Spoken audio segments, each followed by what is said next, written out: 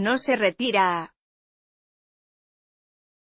César Chelito Delgado, quien fuera uno de los jugadores más queridos en Cruz Azul, aclaró que no pone fin todavía a su carrera deportiva, tal como se informó a lo largo del día.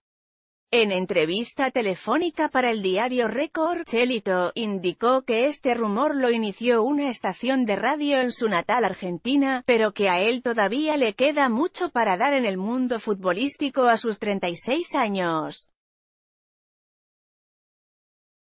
Tengo cuerda todavía donde estoy, aún no me retiro.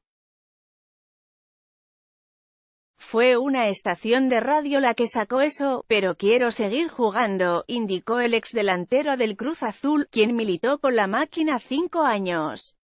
Chelito, aclaró que es falso que quiera retirarse ya del fútbol profesional.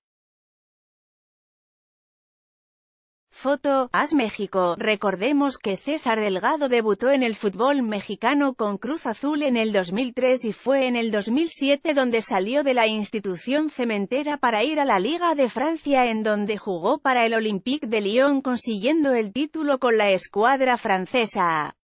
En el año 2011, Chelito regresó a México para integrar la plantilla del Monterrey y después de esa etapa, decidió regresar a su Argentina para, desde el año pasado, ser parte del Córdoba, de Argentina, equipo en el que se encuentra actualmente.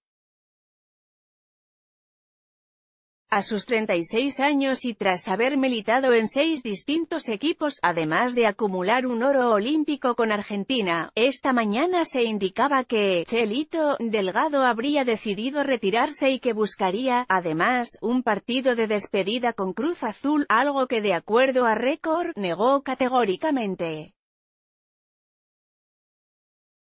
Podría interesarte, el Estadio Azul mantiene la esperanza de seguir de pie Almaraz, periodista egresada de la FS Acatlán.